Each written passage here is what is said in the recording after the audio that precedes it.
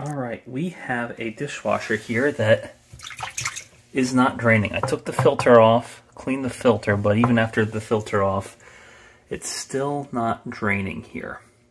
So the next easy step to look at is actually the drain line. And if we look inside, that right there is the drain line. And it goes all around. And then it eventually connects to this garbage disposal right here. Now, one test that we can do is we can take it off the garbage disposal and blow into it. And if the dishwasher pool bubbles, we know that there is a way for the air to get into the dishwasher. But if it's blocked, it won't do that. No, so there's some clog in between here and the dishwasher. Before doing work on your dishwasher, be sure to cut the power. All right, I have this huge drain snake that I snaked all the way through. And here, you can see how long. So I was able to get it all the way there. So the line right here is almost certainly fine, not clogged. Which means my clog is probably somewhere over here. So what I'm thinking is that something underneath here could be clogged. So I'm going to take off this guy first to give us easy access. Now for this screen, there's two screw things holding this on and they're just twist by hand. Twist this up, twist this up. Put our screws away. I'm gonna lift this screen up. Okay, so we can see if we got anything we can see in here causing a clog. I gotta think there's something down there. Didn't see anything, but I'm gonna start bailing the water out manually to see if I can get a better look.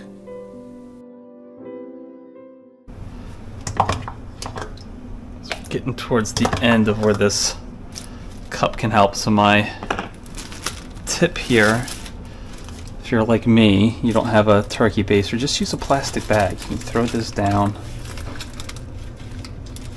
Suck up a lot with this. Alright, for this final part, I'm just going to use rags to soak up this last bit of water. Well, I can see the, the nut that I can use to take out those parts. Maybe there's a clog underneath there. So let's try that.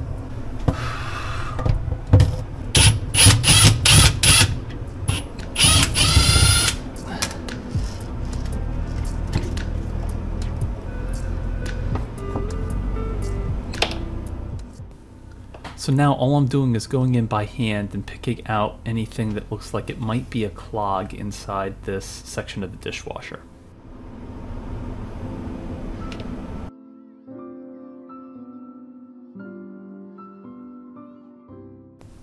After cleaning out the inside of the dishwasher, I tried blowing into the discharge tube of the dishwasher again to see if I could get air to come inside the dishwasher, but I just wasn't having any luck, which means probably that there is a clog somewhere inside one of the mechanisms.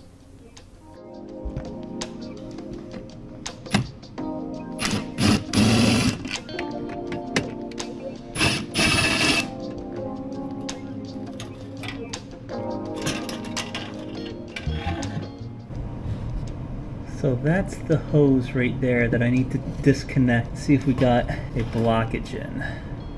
Now it's going to have some water and it's going to leak, so I should put something underneath there to catch what I can.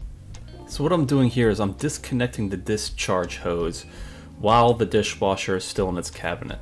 I'm hoping that I can just take off the discharge hose, poke around and see if there's an obvious blockage right here, but it's a long shot. I'm probably going to have to pull the whole cabinet out and take a look. At this point, I've disconnected the electrical from the dishwasher and pulled it out from its cabinet. Now in my case, the water line is long enough that I didn't have to disconnect that, but you may need to disconnect the water line as well to pull it out this far. Uh, be sure to put a towel underneath your legs of the dishwasher if you're going to tip it over, and that's what I'm doing here. I'm tipping it over on its side so I can see uh, the part in question that might have something clogged in it.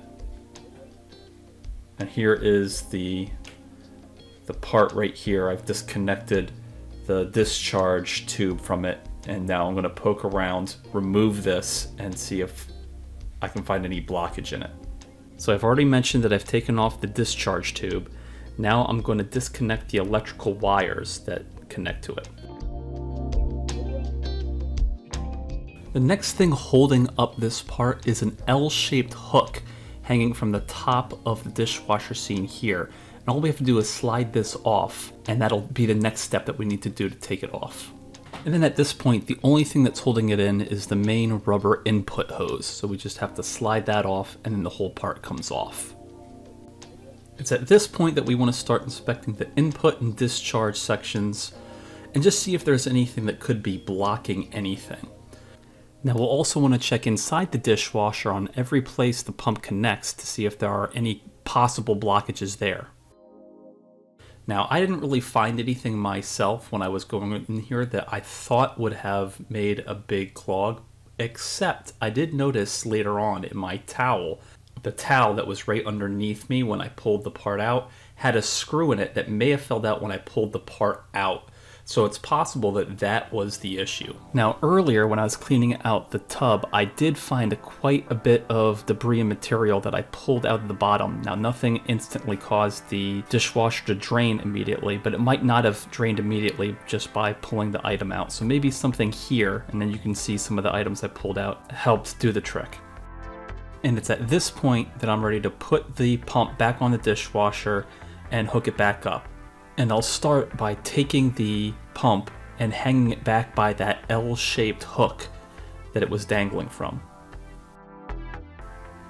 Next, I'll reconnect the discharge tube. Then reconnect it to its input tube so that material can go into it. And then finally reconnect the wires. I'm now ready to tip the dishwasher upright reconnect the electrical, turn the circuit breaker back on, and give it a test run. First thing, let's tip it back upright.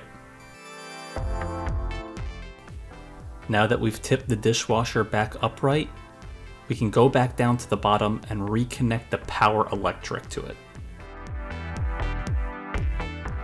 Now that the power is back on, before I push the dishwasher back into place, I want to test it and I want to actually see what's going on inside. So I'm going to place a little miniature camera on the inside of the dishwasher and place a little light inside here. Then I'm going to run the dishwasher so I can review the footage and make sure it's still draining and if not, maybe get any insights to what's happening. Now this is a four times sped up clip just so you can see what's going on in the cycle without you having to wait and see everything, but I'll post a slightly longer version of this video later on in my channel. This right here is the key part of the video that I wanted. We can hear the pump running, and we can see that the water is now draining out.